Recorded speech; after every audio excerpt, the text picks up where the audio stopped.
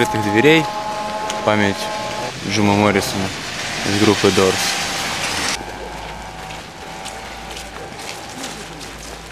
Это был наш чувак. Это был наш чувак.